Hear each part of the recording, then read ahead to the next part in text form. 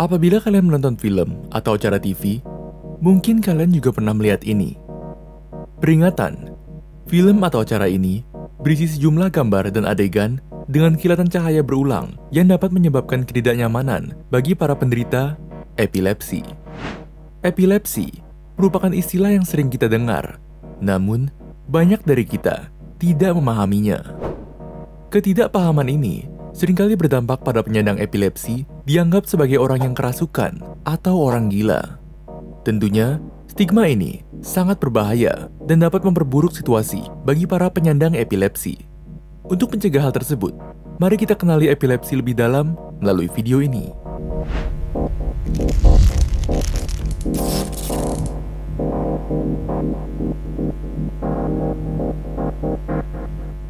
Epilepsi merupakan penyakit neurologis, yaitu suatu gangguan yang terjadi pada otak. Epilepsi ditandai dengan timbulnya kejang yang terjadi secara tiba-tiba. Kejang yang dialami penyandang epilepsi terjadi akibat pola aktivitas listrik yang tidak normal dalam otak. Ketika Anda mendengar kata kejang, mungkin Anda membayangkan orang yang tergeletak di lantai dan kehilangan kendali terhadap tubuhnya. Walaupun kejang seperti itu memang ada, kejang dapat muncul dalam bentuk yang berbeda-beda.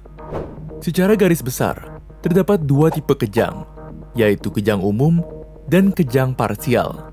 Sesuai dengan namanya, kejang umum merupakan kejang yang mempengaruhi otak secara menyeluruh, sementara kejang parsial hanya mempengaruhi sebagian saja.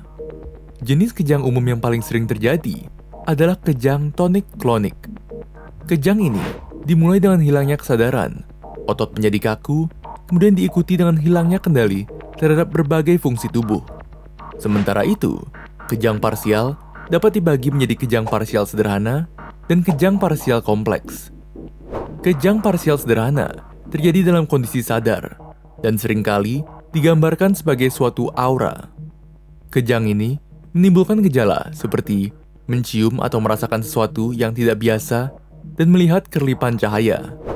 Sedangkan kejang parsial kompleks adalah kejang yang menimbulkan gejala seperti memandang dengan tatapan kosong serta menjadi tidak responsif terhadap lingkungan sekitar. Faktor-faktor yang dapat meningkatkan resiko epilepsi pada umumnya adalah cedera otak yang dapat terjadi karena berbagai alasan, seperti kondisi genetis atau komplikasi saat kelahiran. Namun, terdapat juga penyebab idiopatik, atau dalam kata lain, tidak dapat diketahui walaupun sudah dilakukan pemeriksaan yang menyeluruh. Menurut World Health Organization, penyandang epilepsi mencapai 50 juta orang di seluruh dunia. Di Indonesia saja, terdapat sekitar 1,5 juta hingga 2,4 juta penyandang epilepsi yang memerlukan pengobatan.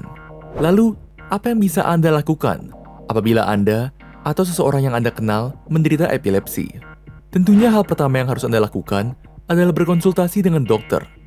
Beberapa pemeriksaan dapat dilakukan untuk memastikan diagnosis epilepsi. Setelah didiagnosis, Anda akan diberikan obat anti-epilepsi. Namun, perlu Anda ketahui bahwa obat tersebut bertujuan untuk mengurangi kejang, bukan menyembuhkan epilepsi. Meskipun demikian, obat anti-epilepsi dapat membebaskan pengidapnya dari kejang yang mengganggu kegiatan sehari-hari.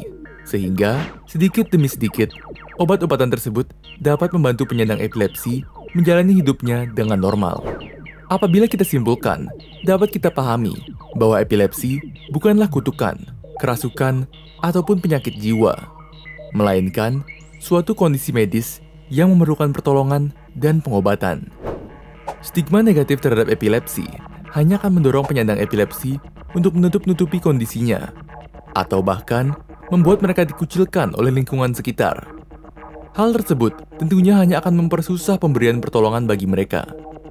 Itulah alasannya, mengapa penting untuk Anda mengedukasikan diri sendiri dan orang lain mengenai fakta di balik penyakit ini, demi menghilangkan stigma dan menciptakan lingkungan yang lebih baik, serta lebih suportif untuk para penyandang epilepsi. Sekian untuk video kali ini.